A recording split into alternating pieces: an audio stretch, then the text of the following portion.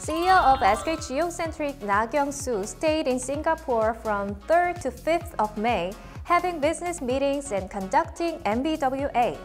첫 번째 일정인 싱가포르 지사와의 미팅 후 다음으로 2015년에 사우디아라비아 종합화학기업 사빅과 설립한 합작법인 SSNC를 찾았는데요.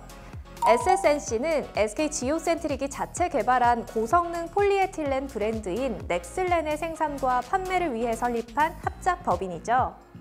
나경수 사장은 SSNC 관계자들과 논의를 통해 글로벌 시장 공략을 위한 사업 포트폴리오를 점검했습니다.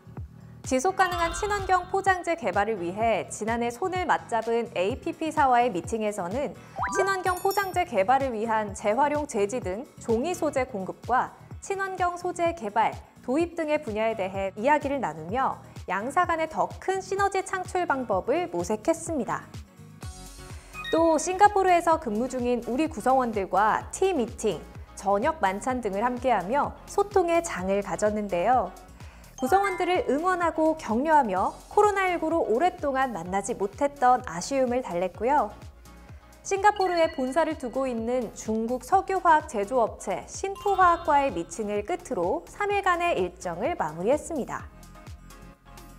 SK Geocentric is actively moving about to expand its environmental friendly business portfolio. The efforts of SK Geocentric to make the world green will continue from now on.